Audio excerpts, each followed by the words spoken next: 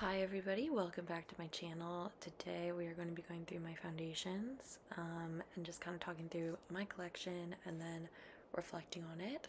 This is the second part of the series going through my collection in order to just try and be a bit more thoughtful in my consumption. Um, but yeah, we're just going to start off today here with foundations and wanted to give a quick intro before I hopped into it. Alright, let's get into it.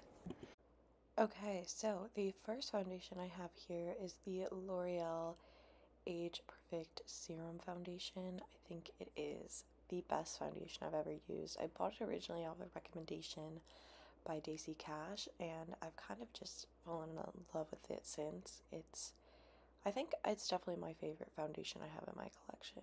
It looks so good on the skin. It has a good enough coverage and it lasts. I always wear it on nights out or when I'm going to like an event or something. I think it's just like the most dependable foundation. Um, and I can't recommend it enough. I will definitely be repurchasing this. I think it's a great one to have in my collection. Alright, the next one I have is the L'Oreal Infallible Pro Matte Foundation. This is probably the oldest foundation I have in my collection. It's kind of crazy to think about, but I bought this and used it probably in my last couple of years of high school, first years of college. I feel like it's kind of a dated formula, and I mostly have this in my collection now just in case um, the trends kind of change and I want to get back into a matte foundation. It's honestly so old at this point, though. I should test it out and try it again, but I don't know. Sometimes it's just nice to have some things in your collection that you can kind of revisit for when the trends change. So that's kind of the thought with this, but definitely need to check it out, make sure it's still good. The next foundation I have is the e.l.f. Flawless Finish Foundation. Um, this is a great foundation. I've kind of like been surprised by how much I like it. Um, because it's so affordable and I feel like you never hear people talk about it. I think I probably heard about this from Kelly Gooch, but I think this is like just a great like classic foundation.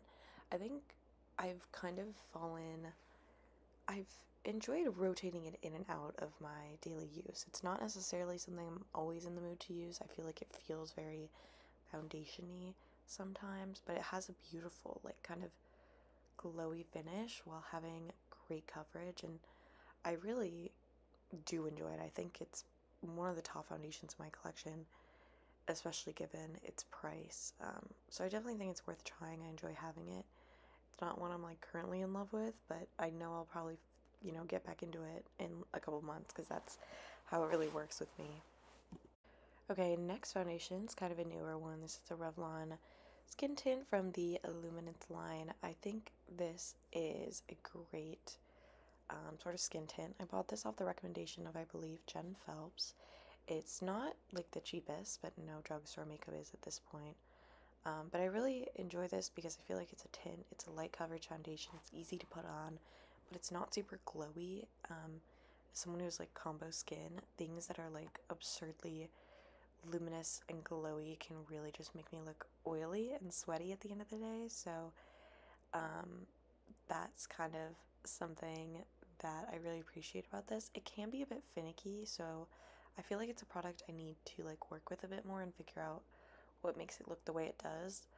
Um, because sometimes it looks amazing, and then sometimes I notice it like catching on my skin. So, gotta figure out the right prep to use. But this is something I have in my like daily bin. I think it's fun to use and really good for just like daily use, where I don't want to think too much about it.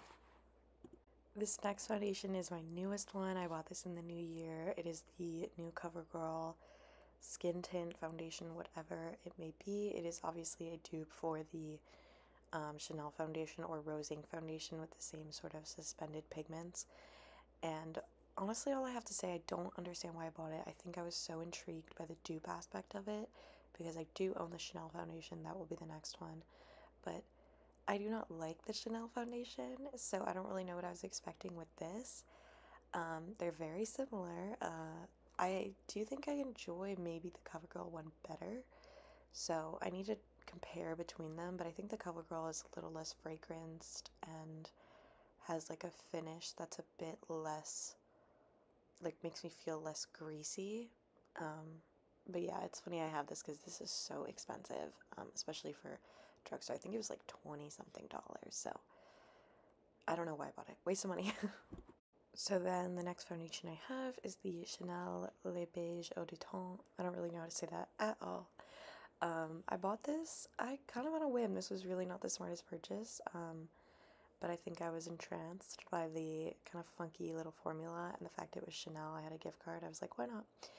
Obviously, these are kind of meant to be dupes. Um, has that suspended pigment. Again, I don't really like this foundation. I feel like it feels greasy and like it never really sets down and it gets it has like a it gets caught on my skin but i do think it's something i want to keep trying obviously the cost i think you know makes me want to do that because this is not like a negligible cost but um it's something i hear such great things about especially from youtubers i really like love and trust and have similar taste to so i want to keep trying it that's why it's in the collection um, if it worked for me like it would be a beautiful like light coverage foundation but there are some issues with it so that's my thoughts on that but still in the collection at the moment would definitely want to compare those two Alright, next foundation, another old classic. This is the Bare Minerals, um, I don't know, mineral foundation.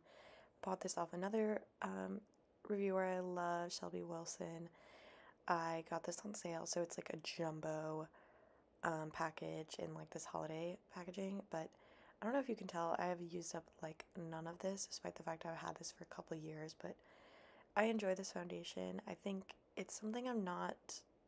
I still feel like I need to like use more and really figure out how to perfect it because when it looks good, it looks great.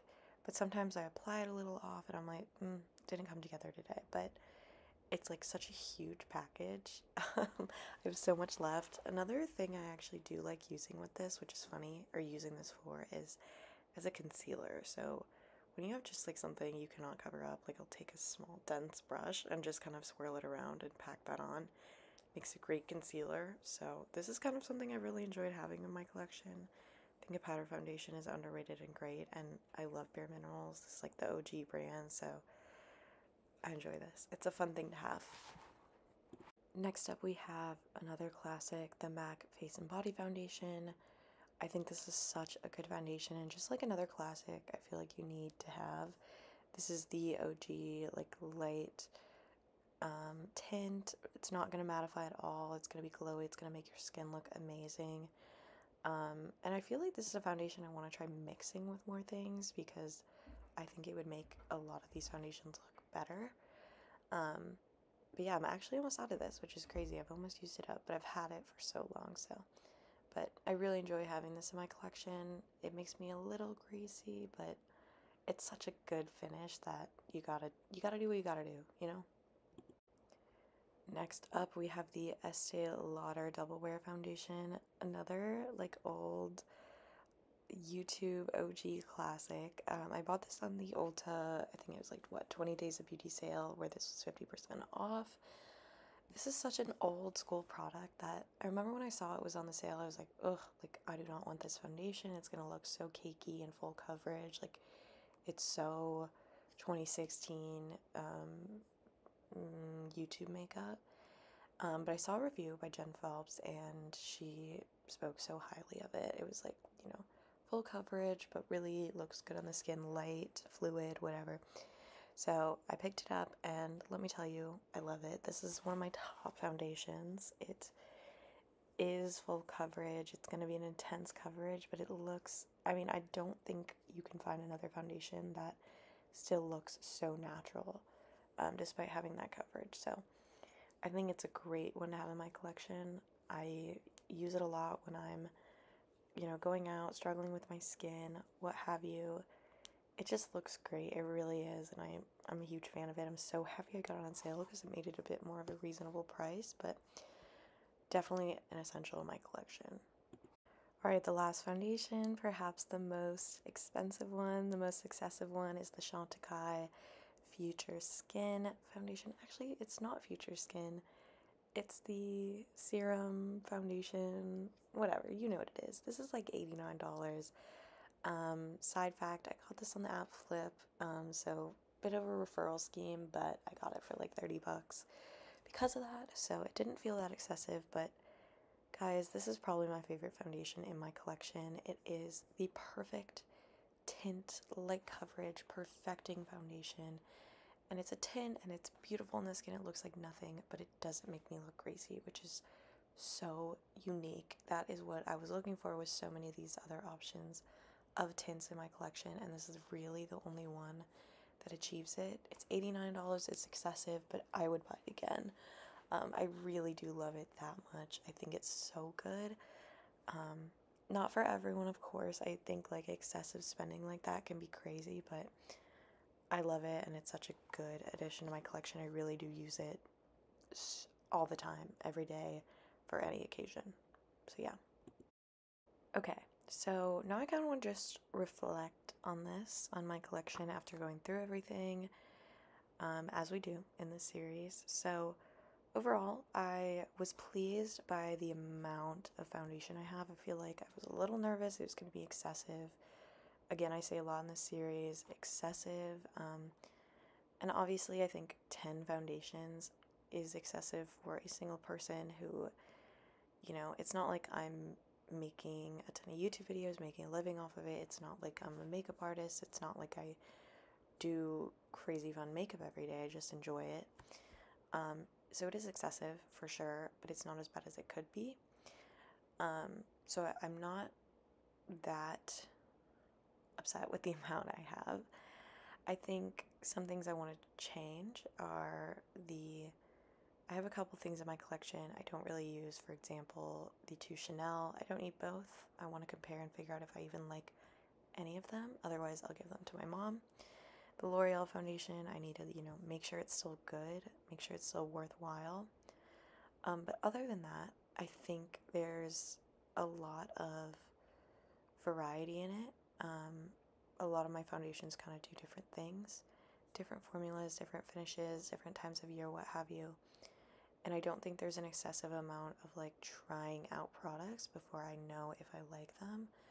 For example, you know, the Revlon product is really the one I'm trying right now, and there's the other one is the sh- um, the CoverGirl one, but I think it's nice that I kind of you know have one product I want to try, kind of focusing on that. I think the CoverGirl one was a bit of an oopsie, but yeah, I think that's um, a positive. So I think there are ways to tone down this collection if I I really want to use the MAC Face and Body a bit more to mix. And I think maybe that can give, you know, maybe change some of the finishes of some of these foundations, be kind of fun to work with. So that's another thing to keep in mind. But overall, I'm honestly not super like critical of this aspect of my collection.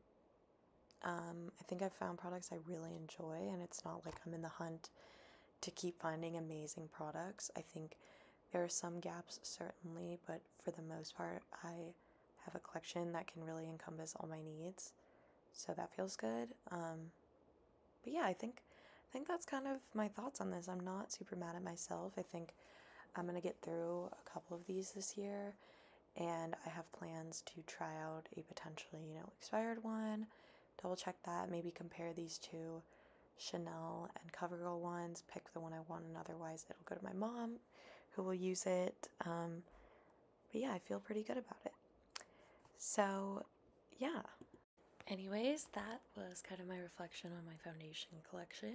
Coming up next is going to be concealers and sort of setting sprays, setting powders. Um, so yeah, that's gonna be coming next. I hope you guys are enjoying this series and kind of, you know, perhaps reflecting on your own collection. And yeah, I'm gonna continue making these videos and hopefully it'll inspire me to be a bit more um, intelligent in my spending and consumption. But yeah. Um, please feel free to like and subscribe if you enjoyed. Otherwise, I'll talk to you guys next time. Bye bye.